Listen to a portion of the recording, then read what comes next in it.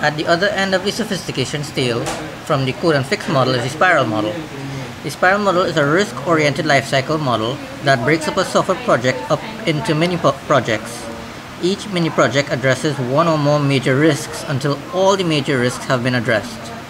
The concept of risk is broadly defined in this context, and it can refer to poorly understood requirements, poorly understood architecture, potential performance problems, problems in the online technology, and so on. Uh, after the major risks have all been addressed, the spiral model terminates as a uh, waterfall life cycle model would. Now, this, this figure illustrates the spiral model, uh, which some people refer to affectionately as the cinnamon roll. Um, it is a complicated diagram and it's worth studying. The basic idea behind the diagram is that you start on a small scale in the middle of your spine. You are going to explore the risks, make a plan to handle the risks, and then commit to an approach for the next iteration. Each iteration moves the project to a larger scale. You roll up one layer of the cinnamon roll. Check to be sure that it's what you wanted and then you begin work on the next layer. Okay, each iteration involves the six steps shown in bold on the outer edges of the spiral. The first step is you have to determine the objectives, alternatives, and constraints. Then you move on to identifying and resolving risks. You evaluate the alternatives. You then develop the deliverables for that iteration and verify that they are correct.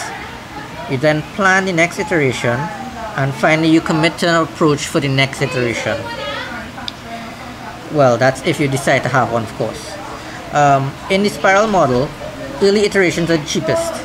You spend less in developing the co concept of operation than you do developing the requirements and less developing the requirements than you do developing the design implementing the product and testing it.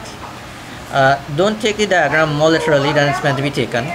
It isn't important that you have exactly four loops around the spiral and it isn't important that you perform the six steps exactly as indicated although that's usually a good order to use. Um, you could tailor each iteration of the spiral to suit the needs of your projects. you can combine your model with other lifecycle models in a couple different ways. Um, you can begin your project with a series of risk reduction iterations. After you've reduced risks to an acceptable level, you can conclude the development effort with a waterfall lifecycle or other non-risk based lifecycle you can incorporate other lifecycle models as iterations within the spiral model.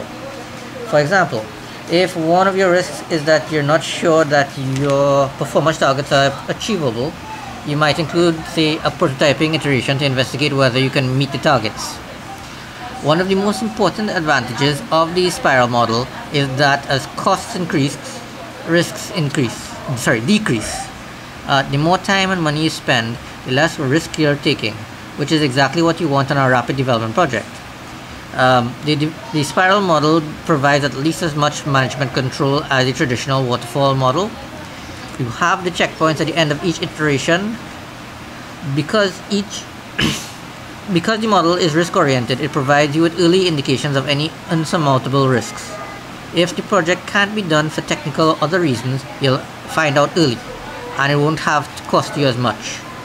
Um, the only disadvantage of the spiral model is that it's complicated. It requires conscientious, attentive, and knowledgeable management. Uh, it can be difficult to define objective verifiable milestones that indicate whether you're ready to add the next layer to the cinnamon roll.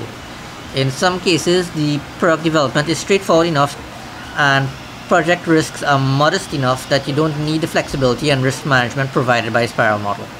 Well, that's it on the spiral model. Tune in next time.